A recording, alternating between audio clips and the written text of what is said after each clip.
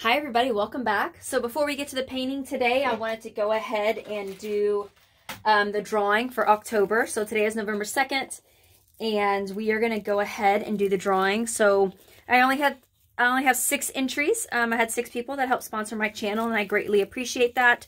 So I've got the names in a little bowl here, and so I'm going to close my eyes. To keep mixing them up. And you can grab that one. All right, and the winner is, if I can get it open. Wow, really? E. Ingle. So uh, the winner for October's drawing is E. Ingle. I want to thank you very, very much for your support. Um, I will reach out to you via email, and you've got your um, Mandala Owl, and I'm going to finish the back for you, and then you're going to get this coffee mug. The Lord is near to all who call out to him. So I will be getting those in the mail to you next week. Um, again, I want to thank everybody who supported. And um, for the month of November, I have a larger painting that we are going to be doing a drawing for. So let's go ahead and get to our painting. Again, thank you very much for your support. Hi, everybody. Welcome back. So uh, just like the painting Praise and the painting Living Water, um, I have had um, spiritual warfare in my mind for a while. And so that is what I'm going to attempt to paint today. This is a painting that we are painting over. It did crack significantly, but I like the texture that it left that we can use as the base for this painting. So um, the other one cracked because I was just using the house paint with water and it, the pigments just didn't support it. So today we are going back to our thicker Artist Loft, or not Artist Loft, uh, Deco Art paint. Um, so we've got the Deco Art, if I can grab it. We've got the uh, Deco Art Americana Snow Titanium White is our white. Oh, here's the bottle that I used. And then um, we have the Deco Art Americana. Grab all my stuff. The Deco Art Americana Lamp Ebony Black is our black. They are mixed with water, um, so I've gotten to the point now where I just kind of put my paint in as much as I need to cover the canvas, and then I slowly add water until I get to the consistency that I need. So I will put the paint colors down in the description, um, and then it, it's kind of up to you how you like your consistency on your your um, uh, Dutch pours. Um, so this is kind of about this consistency. It's a little bit uh, thinner than a 3 to 1 ratio. The paint does fall straight through, but it um, and has a good stream off of the spatula. So that's kind of what my white looks like. And then the other colors that we have, we've got the Deco Art Americana uh, Copper, and we added a little bit of the Fluid Acrylics Magenta to it to give it that deep, um, that deep red color. We've got also Media Fluid Acrylics Pyrrole Red, uh, Deco Art Extreme Sheen Sky Blue Topaz, uh, Dazzling Metallics Ice Blue, and then we have one more color. It is our Metallics uh, Teal is our other color. So we are going to be doing a, as you can see, the split in the paint. Flood one side with black, one side with uh, white, and then we're going to put everything in the middle and kind of push it all together and uh, see what we get. All right, I'm going to get my music turned on. We'll go ahead and get started.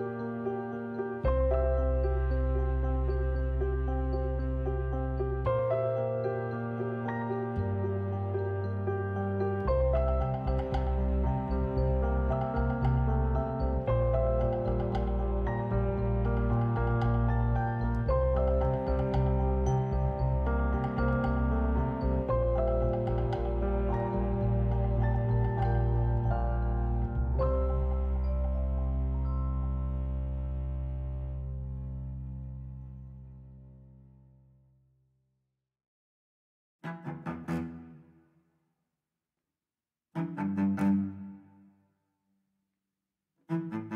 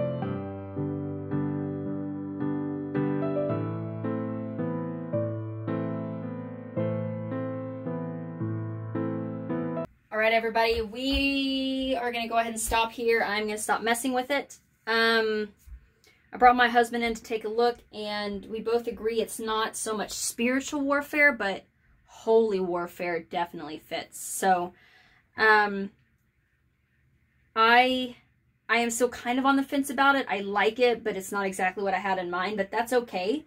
Um, I do like how all of this is just nice and flowy and all that, and it's just slamming into the dark and um, We've got all the gold, which represents heaven out here, just in the depths, fighting and, and all of that. So we are going to leave it just like this. I'm going to get some macro shots of it because it will make great prints. And uh, we are going to leave it here and see how it dries. And then when we will come back, we will um, put our vinyl on it, or not our vinyl, we're definitely not vinyling this one. Uh, we will put our coat of resin on it and seal it all up. So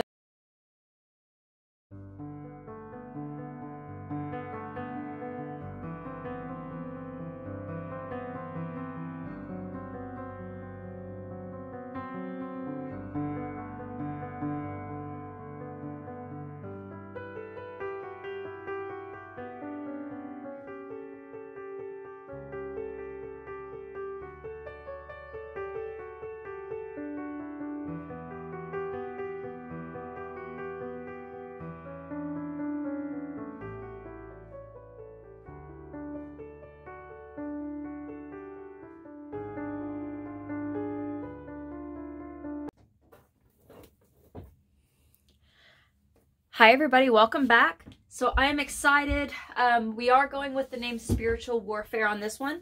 And it did dry um, really well.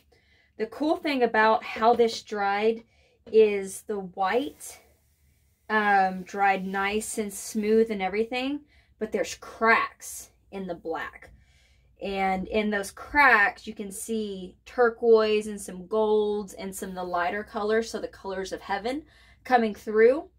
Um, so we're really excited about the way this one dried. Um, want to get the uh, resin on it to really bring out the, the colors and the detail. So because um, this is a larger canvas, we are putting the um, these underneath it to help support the canvas so it doesn't droop. So I have, uh, this is six, six by six tiles and then a couple of uh, popsicle sticks. It ends up being the perfect height with my um, the pins that I put underneath it that we don't have any dip in the canvas. So I had to take my glove off. I had resin on it, so I got to put my glove back on. And then we are going to get our resin mixed up. Um, I actually just got done resining Glorious Praise about two hours ago. And so I was able to, that one was cured enough, I was able to get it to move. And now I can get this one done. So I already have some resin on my plastic. All right. So our resin is our Envirotex Lite uh, High Gloss Pour-On. It is a one-to-one -one ratio. It is by volume, not by weight. That is extremely important to remember. Um, because I want to say it's the hardener that weighs more than the resin does. So if you try and do it by weight, then you are not going to get a good mixture and it is not going to cure correctly. So always remember um, this resin is by volume, or yeah, by volume, not by weight. So with this size canvas, we are going to go to this line right here on both cups.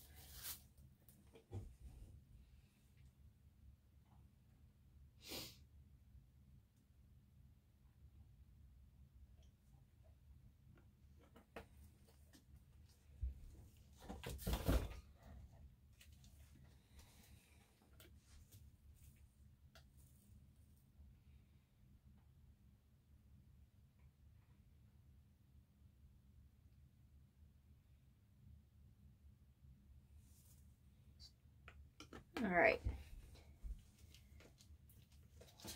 I've had a couple of people ask about the gloves that I wear. Um, this is what the box look looks like. These are the Glove Plus um, Black Nitrile Latex Free. Um, they are chemical resistant, so you can use them for solvents, uh, lacquers, uh, grease, brake cleaner, all kinds of, of stuff, uh, paint thinner, everything. So they fit really, really well. I have small hands, so smalls fit my hands perfectly.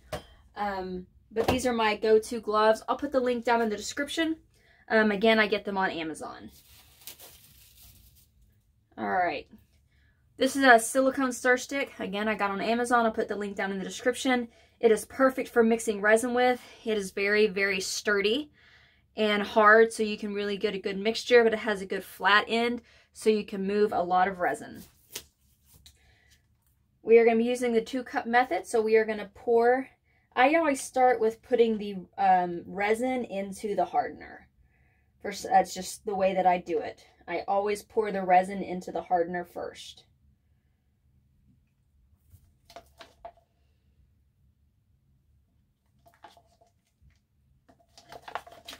Make sure you get everything out of the cup. Scrape the sides and the bottom. And you're going to start mixing. Now, if you can see that, hopefully you can, you'll see all that stringy and all that kind of stuff in there. That is the telltale sign that your resin, of course, is not mixed up. We just poured it together. And so our goal is to make it perfectly clear with no strings. As you start to mix it up, it is going to go cloudy and that's okay. That's as everything starts mixing together, it is going to get cloudy.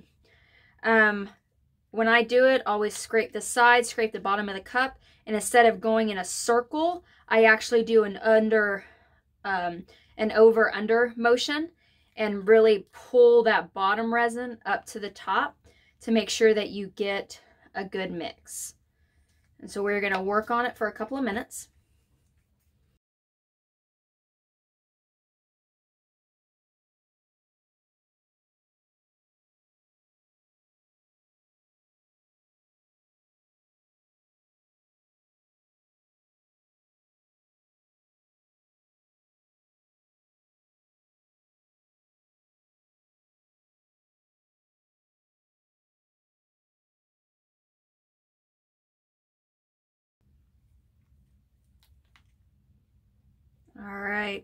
Now that it is nice and clear, we are going to go ahead and uh, start resining.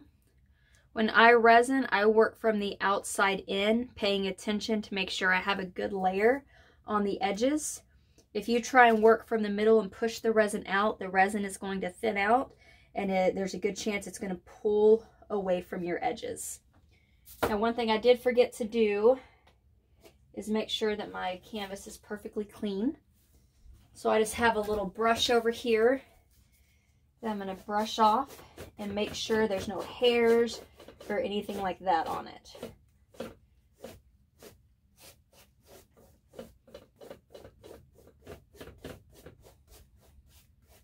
All right.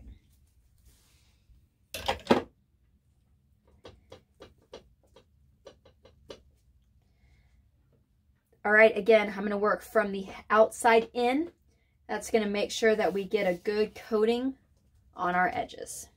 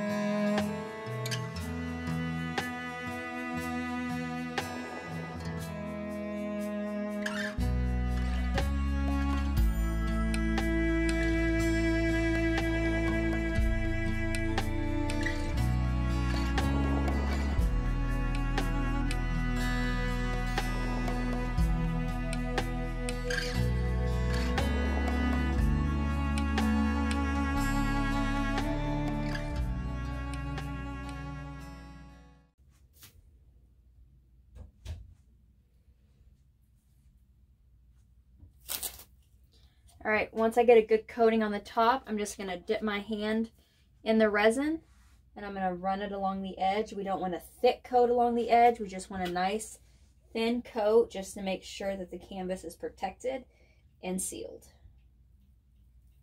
And you'll be able to feel it as you run your hand over the canvas if it's covered. I do not torch immediately after putting resin on. I'm giving those bubbles time to come all the way to the surface. You can actually wait about 10 or so minutes before you torch. And that gives all those bubbles a chance to rise to the surface and you don't have to torch as much to get to them.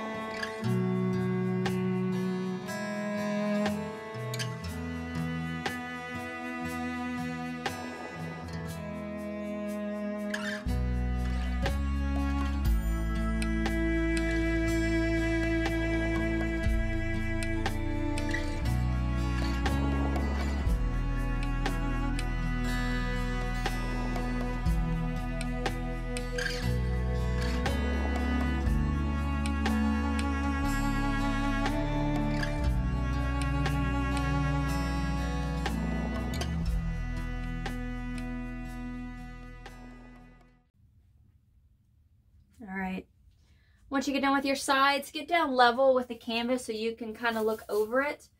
By looking at it this angle, you're going to be able to see any divots. Like right here, I have a big divot. You'll be able to see any divots that you need to fill in. It's also going to give you an idea if there's anything in your canvas because you're going to be able to see it. It's always important to get level with your canvas and make sure it looks like glass. All right, and I'm just going to use any excess around the edges again. Make sure they're nice and covered. And then I always scrape the cup and just drop it right in the center. Resin is self-leveling.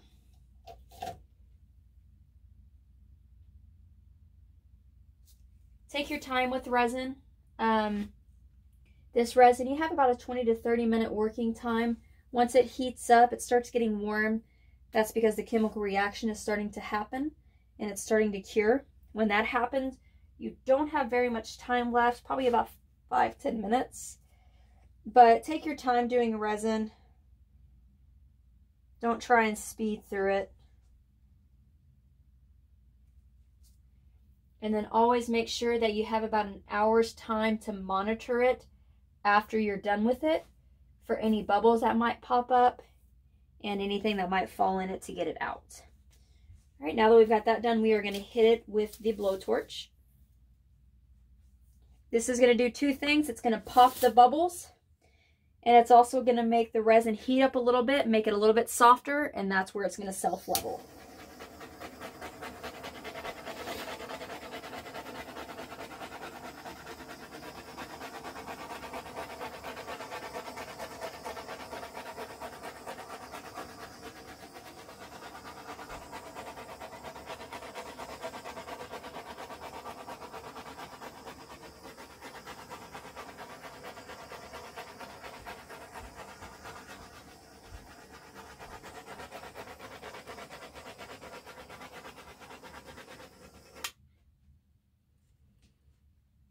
All right.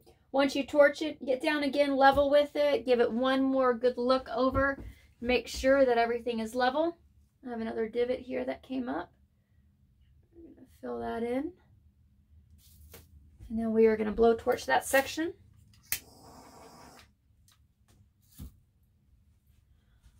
All right. I will check on this about every 10 minutes, 15 minutes for the next hour. At that time, it's going to be pretty much cured to the point that um, I don't have to monitor it. The last thing I'm going to do before we put our cover on is I have just this little Master's Touch scraper. And I'm going to, I hold it this way. And I'm just going to run it across the base of the canvas for any drips that have might, might have happened. There shouldn't be very many because we didn't put a thick layer on the sides. If it does dry with drips, just sand them off. That's what I do.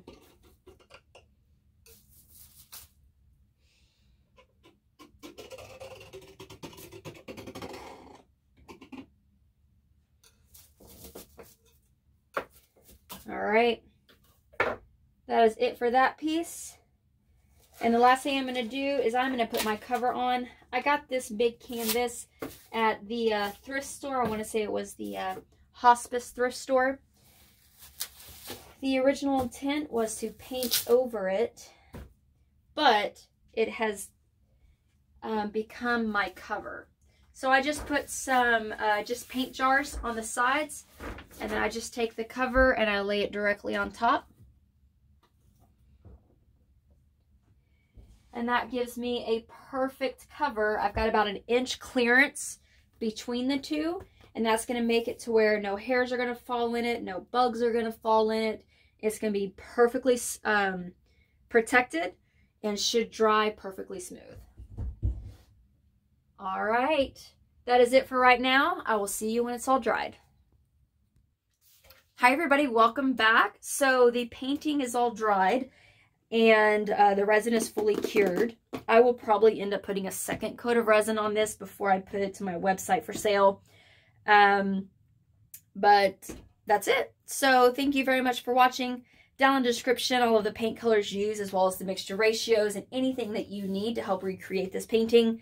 Um, also down in the description, links to my Instagram, Facebook, Pinterest, Twitter, as well as my website, guidedbyfaithdesigns.net. There's also a link down in the description if you'd like to help sponsor my channel.